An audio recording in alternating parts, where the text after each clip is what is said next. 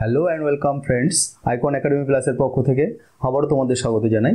Shortcut ট্রিক্সে আজকে আমাদের বিষয় ন্যাশনাল পার্কগুলো কীভাবে আমরা মনে রাখব, সেই টিপসে আমরা চলছি।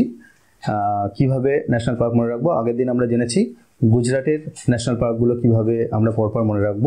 আজকে আমরা জানব রাজস্থান রাজ্যে যে ন্যাশনাল পার্কগুলো রয়েছে, সেগুলো আমরা কীভাবে মনে রাখব পরপর, তার টিপস আমরা আজকে জানব। চলো দেখি টিপসে কি আছে? টিপস হচ্ছে, রাজার ড্রেসে কেউ রণসারিতে রাজি? একটা- প্রস্তাব দেওয়া হচ্ছে, রাজার ড্রেসে কেউ কি রণক্ষেত্রে রাজি? সেইভাবে একটা প্রশ্ন করা হচ্ছে। তাহলে আমরা যদি এই টিপসটাকে যদি ভাঙাই তাহলে কি দেখতে পাচ্ছি? রাজার মানে সহজে মনে রাখতে পারছ রাজস্থান? এখানে সূত্র মনে রাখলে রাজ্যের নামটাও প্রথমেই চলে আসছে। ঠিক আছে? তাহলে বুঝতে অসুবিধা হচ্ছে না। প্রথমে এক নম্বর তারপরে আছে, দেখো ড্রেস ডে অর্থাৎ এক নম্বর আমরা পাচ্ছি কি? Desert national park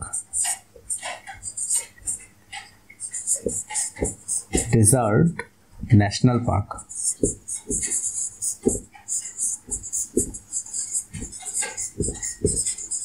দু নম্বর আছে কি? কেউ।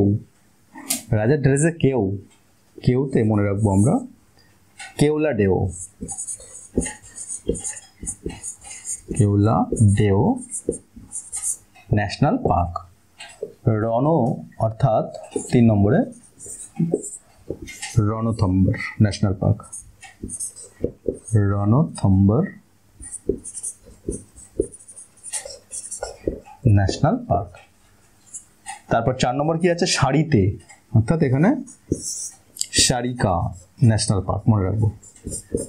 শারিকা ন্যাশনাল পার্ক রাজি অর্থাৎ পাঁচ নম্বরে Rajiv Gandhi national park Rajiv Gandhi national park তাহলে বন্ধুরা আমরা কি জানলাম? আহ, রাজস্থানের যে পাঁচটা ন্যাশনাল পার্ক আছে। সেই ন্যাশনাল পার্কগুলো এই সূত্রের মাধ্যমে মনে রাখব কি কি সেই সূত্রটা সেই সূত্রটা আমরা জানব। রাজা ড্রেসে কেউ রণসারিতে রাজি? অর্থাৎ কেউ কাউকে বলা হচ্ছে, প্রস্তাব করা হচ্ছে যে রাজার ড্রেসে কেউ কি রণসারিতে রাজি? এইভাবে আমরা টিপসটা মনে রাখতে পারি। আর রাজার থেকে আমরা বুঝতেই পারছি, রাজস্থান। এখানে রাজস্থান রাজ্যের কথাই বলা হচ্ছে। রাজার অর্থাৎ আর অন্য কোনো রাজ্যের রাজা দিয়ে শুরু নেই। ড্রেস অর্থাৎ ডেজার্ট ন্যাশনাল পার্ক ডেজার্ট মরুভূমি যে তার নামেই আছে। কেউ কেউ তার কেওলাডেও ন্যাশনাল পার্ক রণ অর্থাৎ রণথম্বর ন্যাশনাল পার্ক শাড়িতে অর্থাৎ শারিকা ন্যাশনাল পার্ক আর রাজি অর্থাৎ রাজীব গান্ধী ন্যাশনাল পার্ক তাহলে আমরা বুঝতে পারছি যে এই সূত্রের মাধ্যমে পাঁচটা ন্যাশনাল পার্কের নাম আমরা খুব নিমেষের মধ্যেই এটা মুখস্থ করে ফেলতে পারছি। আর সাধারণত কি হয়, পরীক্ষার হলে গিয়ে কি হয়? বিভিন্ন রাজ্যের নাম দেওয়া থাকে।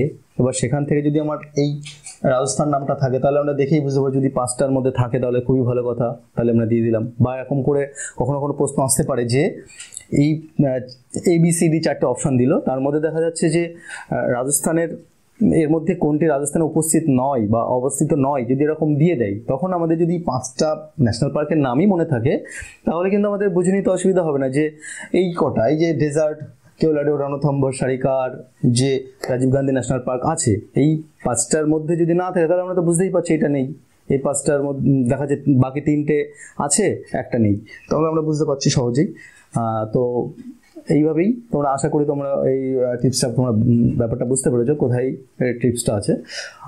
ঠিক আছে, তাহলে আশা করি তোমাদের এই ভিডিওটা দেখে খুবই ভালো লেগেছে। আর যদি ভালো লেগে থাকে, তাহলে অবশ্যই একটা লাইক করো, আর বন্ধুদের মাঝে শেয়ার করো। সাবস্ক্রাইব করতে ভুলো না। আর অবশ্যই আমাদের ডিসক্রিপশন বক্সে আমাদের টেলিগ্রাম গ্রুপ আইকন একাডেমি প্লাসের লিঙ্ক দেওয়া আছে। সেখান থেকে তোমরা আমাদের এই গ্রুপে জয়েন করে আমাদের এই সমস্ত ভিডিওর সমস্ত পিডিএফ ওখান থেকে পেয়ে যেতে পারো।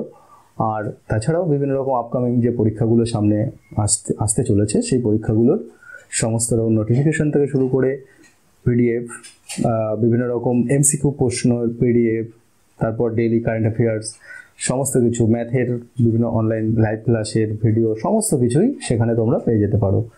আর এগুলো সম্পূর্ণ বিনামূল্যে তোমরা পেতে পারো। তার তার আগে সবচেয়ে যেটা জরুরি সেটা হচ্ছে তোমাদের আগে টেলিগ্রাম গ্রুপে তোমাদের জয়েন করা এবং সেখান থেকে সেই গ্রুপটাকে ফলো করা। ওকে বন্ধুরা? তাহলে আজকের ভিডিও এই অবধি থাকছে। পরবর্তী ভিডিওতে আমরা অন্য কোনো রাজ্যের ন্যাশনাল পার্ক সম্পর্কে অবশ্যই জানব ভালো করে। আর তাছাড়াও আমাদের এই ভিডিওগুলো তোমরা ফলো করতে থাকো, আর যাতে আমরা যে সমস্ত নতুন করে আপলোড করি যে ভিডিওগুলো, সেগুলো তোমরা সাথে সাথে দেখতে পাও।